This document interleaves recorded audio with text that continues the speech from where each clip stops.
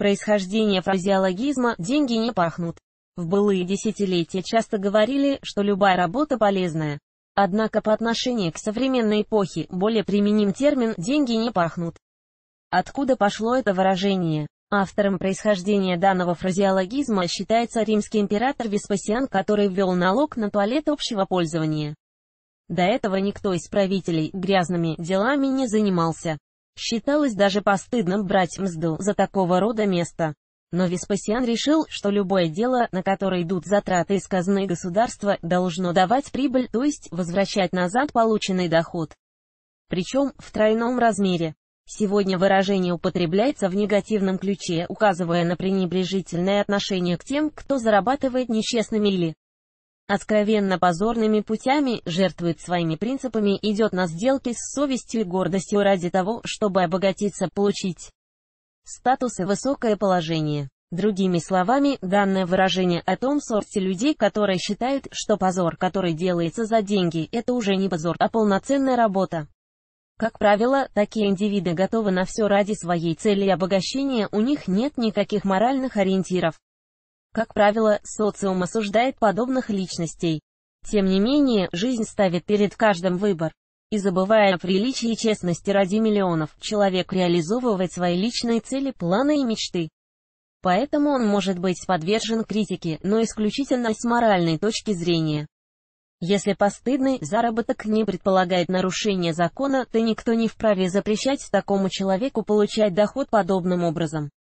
Мало того, у каждого своя личная степень порядочности и свое понимание действительности. Ведь то, что зазорно для одного, является нормой для другого. Поэтому человек, для которого деньги не пахнут, может действительно не испытывать никаких угрызений совести, занимаясь тем, от чего другие приходят в ужас. Что означает, как понять выражение «деньги не пахнут» объяснение одним словом. Чтобы понять выражение «деньги не пахнут», необходимо вникнуть в его суть. Выше было описано, откуда оно произошло. Теперь стоит понять, что означает такое словосочетание, произнося всего одно слово. Поможет объяснение одним словом. Часто в равень с данным выражением идут словосочетания «продался», «продался с потрохами», «продал друга», «продал мать родную» и так далее. Другими словами, синонимы выражения одним словом алчность, корысть, бесстыдство, жадность. Вседозволенность, подлость, мерзость, отсутствие совести и чести. Теперь давайте разберемся со значением этого словосочетания. Читайте далее. Деньги не пахнут. Краткое значение фразеологизма. Если кратко, то фразеологизм «деньги не пахнут» обозначает определенные действия человека, зарабатывающего на жизни не вполне приличным, не вполне честным или даже недостойным путем. Другими словами, человеку совершенно не важно, чем именно он занимается ради заработка, главное, что за эту деятельность ему платят. Подобную категорию можно отнести постыдные профессии, связанные с криминалом, проституцией, торговлей наркотиками, постоянным обманом или наживой на чужом горе. Когда такой работник получает свои средства, он каким-то образом забывает о том, что приступал закон, свои принципы, что поступал неприлично или унизительно с моральной точки зрения. Он просто считает купюры и радуется жизни. В современном мире к вышеперечисленным профессиям можно причислить и некоторые моменты блогерства, когда человек разрешает унижать себя, терпит издевательства либо совершает аморальные поступки ради зрительских материальных пожертвований. Конечно, такой человек в глубине души прекрасно понимает, что он поступает недостойно. Но желание много зарабатывать пересиливает в нем моральные аспекты.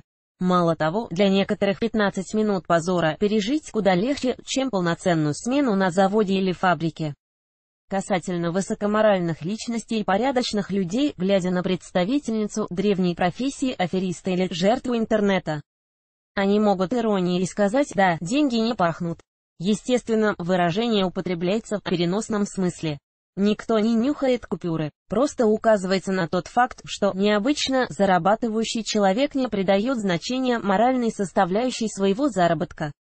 Ставит воспитанность и приличие гораздо ниже собственных гонораров. Другими словами, происходит сделка с совестью. У человека есть шанс либо работать на приличной работе, но иметь невысокий достаток, либо прославиться и стать миллионером, но при этом пожертвовать своими принципами. Он выбирает второе, и это его право. Имеет место личный выбор. Однако существует иной сорт людей. Даже если они очень хотят обеспеченности, склад характера не позволяет им продаться. Они продолжают считать гроши и, возможно, даже не доедают, но никогда не опустятся до того, чтобы опозорить себя, свою семью, свой круг общения перед тысячами человек ради денег. И это также их личное право. Прямое переносное значение фразеологизма «деньги не пахнут» примеры. Важно понимать, что есть прямое и переносное значение тех или иных выражений. Это когда они употребляются в тексте в том или ином варианте. Прямое значение словосочетания направлено непосредственно на предмет, явление и почти не зависит от контекста. Переносное значение – это вторичное производное значение, возникшее на основе прямого. Как видите, все просто. Если непонятно, то рассмотрите примеры ниже. Вот прямое переносное значение фразеологизма «деньги не пахнут». Видели, Катю вчера кто-то на такой крутой машине подвозил. Сразу видно, чем занимается. Правильно говорят, деньги не пахнут переносное значение. Она прекрасно знала, что деньги не пахнут. Но вновь и вновь прижимала к носу купюры и пыталась насладиться своей первой зарплатой, словно ароматом французского парфюма прямое значение. «Ну и что?» — вскрикнул Федор. «Деньги ведь не пахнут. Зато я в неделю получаю больше, чем мой отец в месяц на заводе, переносное значение. Вы сколько угодно можете осуждать меня, но деньги не пахнут. Мне нужно помочь больной матери, поэтому сейчас я готова выполнять любую работу. А конкретно, делать за деньги самую сложную работу. Главное, чтобы мама выздоровела переносное значение. Ученые задались вопросом, есть ли запах у денег. Долгое время считалось, что деньги не пахнут. Но поскольку купюры сделаны из специфической бумаги, запах все таки есть прямое значение. Деньги не пахнут, не стоит даже нюхать прямое значение. Может согласишься, деньги ведь не пахнут, может употребляться в прямом или переносном значении. Ниже еще больше примеров. Читайте далее. Фразеологизм со значением «деньги водятся» присутствует, дорожить деньгами, сделка с совестью по отношению к деньгам, добыть деньги. Любым путем, нечестным путем примеры употребления, когда подразумевается выражение «деньги не пахнут». Подобный фразеологизм может употребляться с другим значением. Вот примеры употребления, когда подразумевается выражение «деньги не пахнут». В начале своей карьеры он вкладывал в каждую свою песню душу. А потом продался с потрохами и записывает дуэты с фальшивыми поп-звездочками, которые петь-то не умеют. Зато у него всегда деньги водятся. Верно, говорят, либо качественное творчество, либо большие гонорары. Ведь людям нравится, когда деньги у них присутствуют. Оксана знала, каким путем Саше достаются эти деньги. Она понимала, что рано или поздно он окажется за решеткой. Но постоянные звонки и угрозы коллекторов вынуждали ее снова и снова закрывать глаза на криминальные похождения мужа. Думаете, я пошел на сделку с совестью? Нет, я просто люблю деньги больше, чем все эти ваши этикеты и пресловутую мораль. Да, мне надоело жить в бедности. Что же в этом плохого? Лучше быть аферистом, но на Хаммере, чем примерным служащим, у которого порой на маршрутку денег нет. Воровать деньги с чужих кредитных карт через интернет-преступление. Это добыча денег любым нечестным путем. Также преступление – это убивать, продавать наркотики подросткам возле школы. Деньги для таких людей не пахнут. Знаешь, за что я уважаю этого футболиста?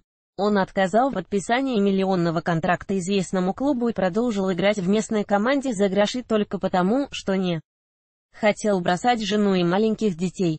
Да, он дорожит деньгами, но семья для него важнее. Но ведь это же обман, знаешь, в жизни бывают ситуации, когда деньги следует добывать любой ценой. Читайте далее о том, как правильно составить предложение с данным выражением. Это просто. Как составить предложение с фразеологизмом «деньги не пахнут» примеры. Для того, чтобы правильно составить фразу с данным выражением, следует знать, какое значение предусматривает контекст прямой или переносное. В первом случае, речь будет идти о том запахе купюр, который можно почувствовать благодаря обонянию. Во втором, о нарушении человеком моральных принципов ради быстрого обогащения. Вот примеры, как составить предложение с фразеологизмом «деньги не пахнут». Одна часть его естества протестовала против такого заработка, но другая прекрасно понимала, что деньги не пахнут. Ну и что, что я работаю веб-моделью? Зато не нужно в магазине горбатиться товары раскладывать или за кассой сидеть. Деньги не пахнут, а вы, мои дорогие, трудитесь где хотите. Я, конечно, понимаю, что деньги не пахнут. Но боюсь, я не смогу принять такое предложение. Есть два типа людей, для одних деньги не пахнут, а у других есть совесть. Конечно, деньги не пахнут. Но я никогда бы не смог предать ради них друга, любимого человека или подставить свою семью. Согласен с тобой, деньги не пахнут. Но зато от человека, который получил их нечестным путем, за версту разит обманом и подлостью. В их карманах деньги не пахнут, зато руки по локоть в крови. Лучше я буду работать простой уборщицей, чем так унижусь. Деньги ведь все равно не пахнут. Это у вас деньги не пахнут. А для меня каждая заработанная десятка имеет запах. Это запах пота, слез и тяжелого труда, к которому я привык с ранней юности. Для подобных людей деньги не пахли или пахли настолько опьяняющие, что совершенно отшибали рассудок. Первые строчки завещания деньгами не пахли. Но все родственники искренне надеялись, что добрый Петр Данилович все же указал, кому достанется его шикарный дом и сбережения, накопленные за долгую обеспеченную жизнь. Ниже еще больше полезной информации. Читайте далее. Как подобрать синоним к фразеологизму «деньги не пахнут» примеры.